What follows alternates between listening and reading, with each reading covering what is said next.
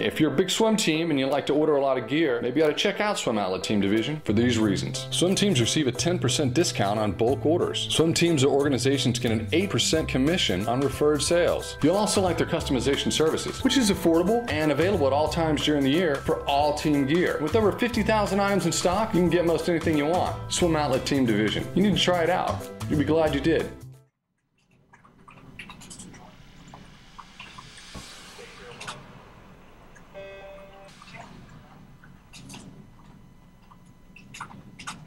This is the Morning Swim Show for Monday, May 20th, 2013. I'm your host, Jeff Commings. The University of Southern California's women's water polo team had a marathon match against Stanford University last week, winning the team title after five overtime periods with a score of 10 to 9. On that team was Madeline Rosenthal, who scored a goal in overtime to keep the Trojans' hope of winning alive. And Madeline joins us now in the Finis Monitor from Los Angeles. Madeline, it's good to see you. How are you today? I'm great. How are you? All right. I see a big smile on your face. It probably has not left since winning that team trophy. No, we're all still on cloud nine. Yeah, and I mean, it's just unbelievable to believe it was a, a, a, match that lasted 40 of actual playing time, 45 minutes and 47 seconds. How how much of that were you actually in the water?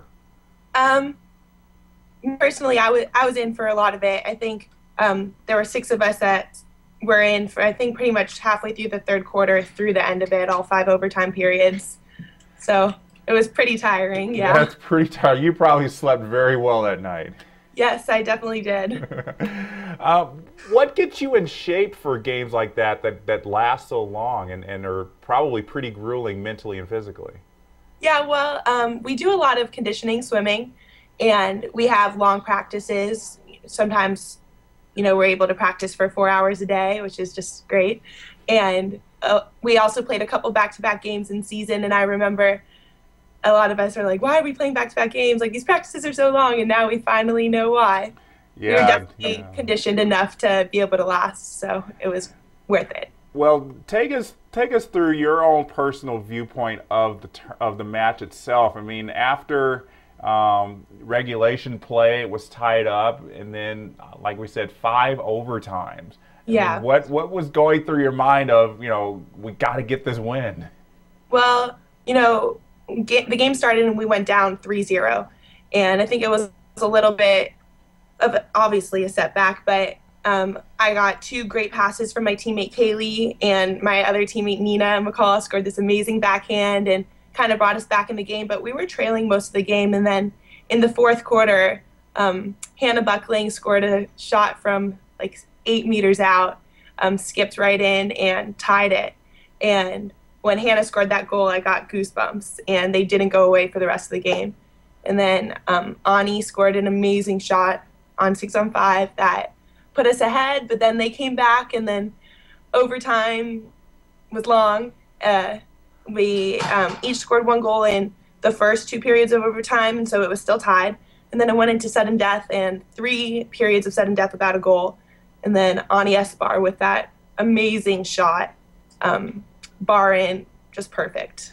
Yeah, sudden death where you know the first team to score a goal, basically the the match ends. I mean, it must the adrenaline, your heart rate must have just been so high, knowing that it's all or nothing in these these three periods. Yeah, when we hadn't played a game that went into overtime this season, so it was a little bit unfamiliar for us, but we didn't really let that affect us. We just played our game and I think there was a lot of emphasis on defense for all of us. I think for both teams, going three quarters of sudden death without any scoring definitely proves that. But um, I remember that last counterattack going from defense to offense. In my head, I said, I'm not sure how much longer I can do this. And then Anni put that goal in, and it was over. And everyone jumped in the water, and the, the coaches were in, and we were all hugging and just so happy. And I remember telling my teammate, Olivia, you have to hold me. I can't, I can't tread water anymore. Yeah, probably all of you need to be lifted out of the water. It's probably yeah. every ounce of energy you had. And, and, again, just a testament to to you guys there that you've been able to do that. Tell us tell us what the the pep talks that you as you as among the team and your coaches were giving to get you going and, and keep you energized and motivated through that whole overtime period? Well, um, our head coach, Jovan, he definitely was motivating us. Um, a little bit of tough love at times when we needed it, when he could see that we were, um, our energy was a little bit lower. He said, I need to see it in your eyes, guys. Like, and then he, you know, gave pep, pep talks to um, Kelly and then Anni to get them fired up, and it worked. It was great. Well, you guys were in the championship match last year. You lost to Stanford by a couple goals. What was the difference uh, this year that allowed you guys to be able to hold on and be able to challenge them so well?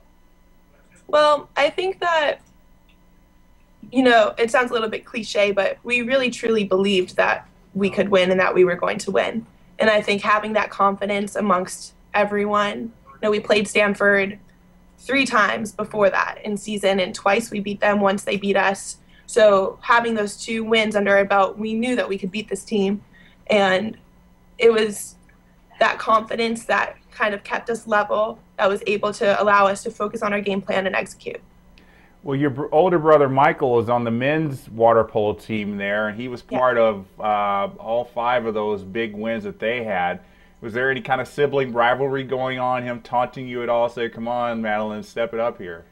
Um, not so much not taunting. He definitely encouraging. My brother, my brother's great. The whole team, they won five times, and uh, my junior class and below us had hadn't won a championship yet. And um, being at their last championship was at home at SC, so we were all there. And I remember they they won, and we all were so happy for them. But we looked at each other, and it's like it's about time this happens to us. Well, your so. parents were uh, swimmers uh, at USC, I understand, correct? Yeah, both of my parents swam at SC. That's where that's where they met. I like to say they met on the pool deck. So I have um, USC aquatics to thank for my very existence. Well, how did your how did your brother and you get into water polo, knowing that you know your parents were swimmers? Did they guide you obviously to swimming first, and then you found water polo later? Yeah, we, I Michael and I, we've been swimming since we were babies. And then um, our middle school team, our middle school had a water polo team, so naturally you're in the pool swimming. Water polo's in the spring, so we Michael started that first, and then I followed his lead. And um, both Michael and I in high school, like leading up to high school, we did swimming and water polo pretty much equally, and it was just water polo was our ticket to college. So for both of us, so it wasn't until college that I kind of dropped swimming competitively, but and we asked this of uh, we asked this of Michael when we did an interview with him last December. But I'm curious to get your take on what um, playing water polo was like growing up in Florida, where as opposed to now you're in Southern California, where it's pretty much everywhere.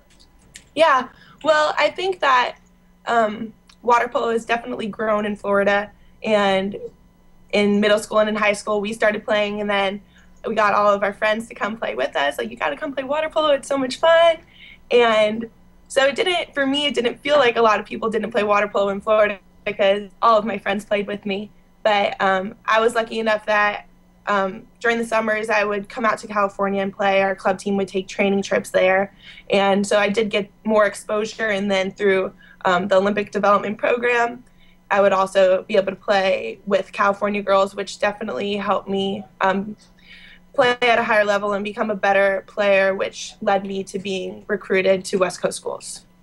Well, what are your summer plans involved in, in terms of water polo? Will you keep? Uh, will you play for a club team here in the states?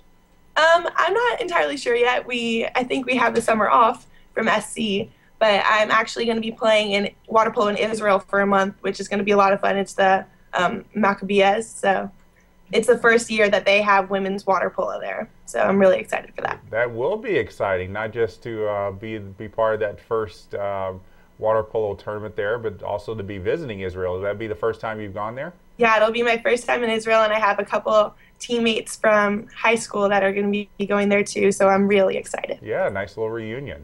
Yeah. Um, and I would imagine the Olympics is uh, the big big goal for you to be able to uh, be on that 2016 team, 2016 team that'll be trying to defend their gold medal? Yeah, well, um, I know a lot of teammates and I have always dreamt of going to the Olympics. So obviously that's in the back of our minds, but we're just focusing like year by year. And something that's probably in the front of your mind is finals there at USCU, just wrapping those up. How's how's it been going? Yeah, about those. Um, no, finals are finals are great. I was able to have um, some of my professors allowed me to take them before, but I do have one in about two hours, which it'll be okay. yeah, I can't imagine having to uh, deal with all that in the middle of the biggest water polo tournament of the season. I mean, how? But I guess maybe it was it was easy for you. Kind of had a little balance. Were you studying it all um, between matches in, at Harvard? No, not at all. Um, our team, we didn't bring any of our materials with us there. Um, I mean, it's a, it's a business trip, and when you study it, it really does make your make you make you tired. And we had things that we needed to be focusing on. So, I mean, we knew that NC2As was going to fall during finals all season. So we made plans and um, with our professors took um, exams early if we could and got our studying done before. Yeah, it was good that you're able to work that out. Sometimes professors aren't that flexible in terms of getting finals done. Yeah. Well, uh, Madeline, congratulations on a great season. Very, it was a very exciting match to watch, and um, I'm sure you guys will uh, always be reliving that in your minds. Yes. It's a long tape to play in your head, though. I know. I've already watched the game back twice now, and I'll probably watch it a couple more. It's yeah, definitely I'm, I'm probably sure, the best moment of my life so far. Yeah, and I'm sure there'll be many more to come, Madeline. Uh, congratulations again, and uh, we'll see you um, see you guys next season. Thank you. All right, so that was Madeline Rosenthal, part of USC's water polo team that just won the NCAA title. Congratulations to them. And that's going to do it for the morning swim show. As always, keep track of all the latest aquatic sports news on swimmingworld.com, and please join us as well on Facebook and Twitter. I'm Jeff Commings. Thanks for watching.